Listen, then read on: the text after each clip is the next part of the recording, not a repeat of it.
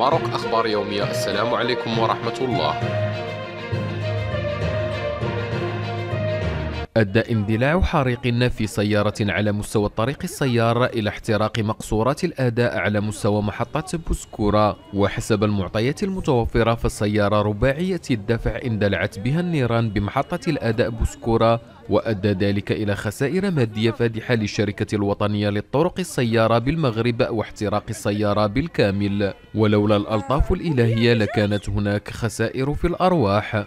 وتساءل كثيرون عن غياب شروط وإجراءات السلامة بالطرق السيارة لتفادي مثل هذه الحوادث الخطيرة التي تقع بين الفينة والأخرى بمحطات الأداء.